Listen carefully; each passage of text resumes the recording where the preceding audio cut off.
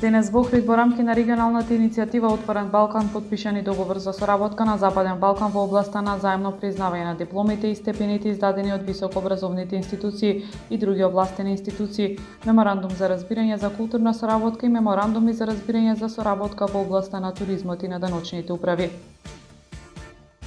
Велосипедската патека Охрид Свети Стефан замина во заборав, велат од СДСМ, Општина Охрид со реакција пренаменети се делосредствата патека Кима. Општина Охрид воведува зона за хуманитарни паркинзи. За почеток предвидени се две паркинг места на улица Кеј Македонија, а средствата од наплатата ќе се донираат. Времето утре променливо облачно со температура во интервал од 11 до 23 степени. Следевте една минута вести на Охрид Ньюс.